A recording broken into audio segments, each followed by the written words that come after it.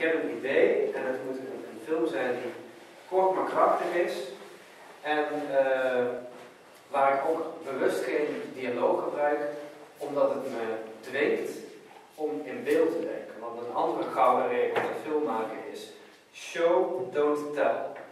Het is heel makkelijk om, als je iets aan de kijker wil communiceren, je wil een verhaal vertellen, als je dat letterlijk in een dialoog doet, met een voice-over of met tekst, soms kom je er niet onderuit, maar het is, je moet eerst toch proberen om het puur in beeld te vertellen.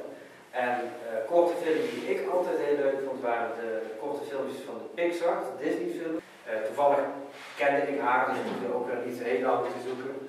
Ik heb die film niet per se op haar geschreven, maar ik kende haar wel. Dus dat scheelde. En toen heb ik een goed licht gegeven. Ja, en dan, dan ga je de voorbereidingsfase in. En dan zeg ik altijd, dat is, voorbereiden is gewoon bijna het, eigenlijk het halve werk van het draaien, misschien nog wel meer.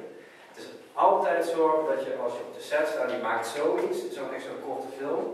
Dat is in principe het uitvoeren van wat je hebt voorbereid. Dus dat betekent dat ik inderdaad met een Dennis ga zitten, we pakken het script erbij en dan leg ik die visie opnieuw een keer voor. In mijn hoofd had het over een medium, medium close en close, daar hadden we het over. En ik zei, nou ja, prima, uh, kan ik kiezen in de montage welke, welke van de twee ik ga gebruiken. Alleen, dit was voor mij medium close en dit was close bewijzen van. Maar hij dacht iets ruimer dan ik en dan sta kwam ik in de montage erachter, of misschien zelfs op set van, oeh, dit ziet er wel wijd uit. Ik had het niet zo wijd gedacht gehad. En dat zijn allemaal van die dingetjes die je van tevoren eventjes kunt vragen van, oh wacht even. Als jij close zegt, moet het dan voor me zien? En, uh, oh ja, wacht, ja, je hebt dit shot, en, uh, hè? maar wat bedoel je dan? Ja, ja. ja.